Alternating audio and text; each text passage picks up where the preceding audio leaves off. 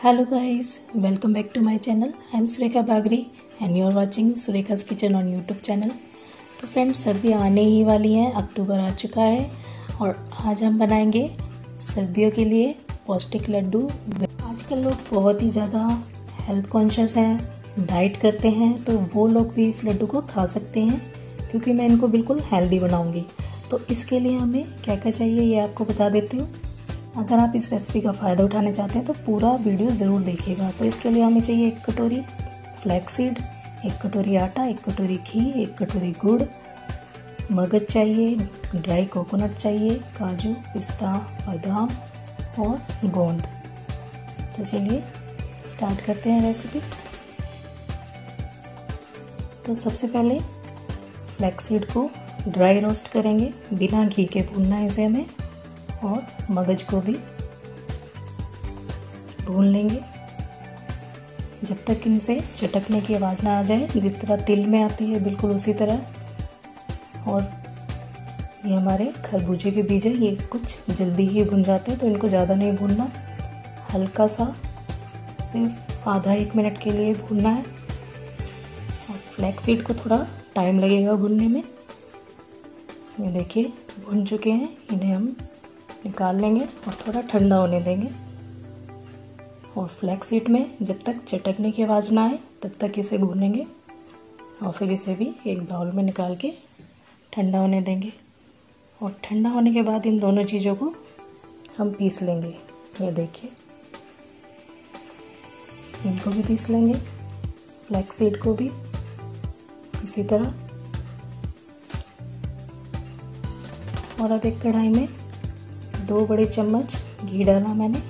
जो चाय का चम्मच होता है, उससे थोड़ा सा बड़ा चम्मच है ये। घी ज़्यादा नहीं डालेंगे, बिल्कुल हेल्दी बना रहे हैं लड्डू। अगर आपको कोई हेल्थ इशू नहीं है तो आप ज़्यादा घी डाल सकते हैं अपने हिसाब से, घी। इसमें आटे को अच्छी तरह भून लेंगे। बिल्कुल इसी तरह देखिए ब्राउन कर लेंगे आटे को। ये देखिए, बिल्कुल ब्राउन करना हमें आटे को, उसमें ध्यान रहे गुठलियाँ ना रहे, क्योंकि इसमें थोड़ा आटा कच्चा बीच में रह जाता है। वो नहीं रहना चाहिए बिल्कुल भी। अब दूसरे पैन में हम दो चम्मच घी डालेंगे, उसमें गोंद को फ्राई कर लेंगे। वैसे तो ये ट्रेडिशनली गोंद को डीप फ्राई किया जाता है, लेकिन हम, क्योंकि इनको हेल्दी बना रहे हैं, इसलिए कम घी यूज़ कर जितना हो सके। तो सिर्फ़ दो चम्मच घी डालकर मैंने गोंद को रोस्ट कर लिया। अब से साइड में रख देंगे और इस बचे हुए घी में हम सारे ड्राई फ्रूट को फ्राई कर लेंगे। कोकोनट ये काजू, पिस्ता, बादाम और अपने फ्लैक्सीड का पिसा हुआ चूरा इसमें डाल देंगे। साथ ही इसमें डाल देंगे मगज। इनको मैंने इसलिए पीस लिया क्योंकि बच्चे ज़्यादा पसंद नहीं करते हैं। जब हम उनको किसी चीज़ में इनको खाने के लिए देते हैं तो वो निकाल देते हैं साइड पे तो इसलिए इसे पीस लेंगे। तो अच्छा रहेगा। अब इसमें डाल देंगे गुड़। गुड़ को हम मेल्ट नहीं कर रहे हैं, ऐसे ही डालेंगे क्योंकि सारी चीज़ें अभी हमारी गर्म है इसमें ही अपने आप मेल्ट हो जाएगा। और चाशनी बनाने से लड्डू हमारे हार्ड भी हो जाते हैं और इससे बिल्कुल सॉफ्ट बनेंगे। तो ऐसे ही क्रश करके मिला देंगे इसे। अच्छी तरह।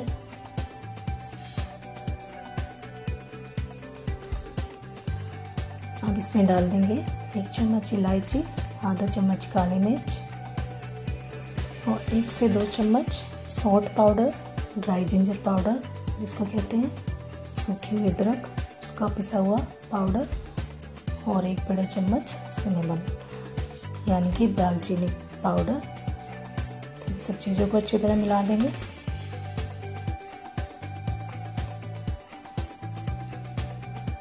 अब गोंद हमारा हो चुका है ठंडा, इसे हम मिक्स कर लेंगे अच्छी तरह क्रश कर लेंगे।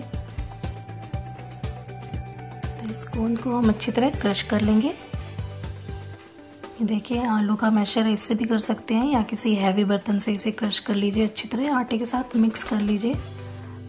तभी ये लड्डू में अच्छी तरह मिक्स होने के बाद स्वाद लगेगा। और ये हो जाने के बाद सारे ड्राई फ्रूट को साटे में मिक्स कर देंगे। सारी चीज़ों को अच्छी तरह मिला लेंगे। तो अभी तो थोड़ी गर्मी है, इसलिए मैंने सिर्फ़ थोड़े से अमाउंट में ये बनाए हैं। जब आप इसे सर्दी में बनाएँ तो यही सारी चीज़ आप डबल या ट्रिपल अमाउंट में भी बना सकते हैं। और गोंद अभी मैंने बिल्कुल थोड़ा लिया। आप जैसे मैंने एक कटोरी आटा लिया तो एक कटोरी ही गोंद डाल दीजिए और घी आप ज़्यादा डाल सकते हैं। तो इन सारी चीज़ों को कर लेंगे अच्छी तरह मिक्स और इनके लड्डू बनाकर रख लेंगे।